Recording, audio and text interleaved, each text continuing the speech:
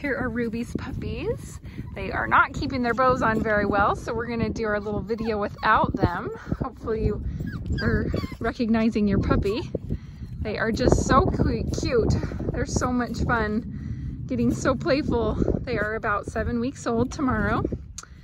And we went to the vet today and everybody's healthy and strong. They are so much fun. You can see little red boy standing up here in the front next to yellow girl.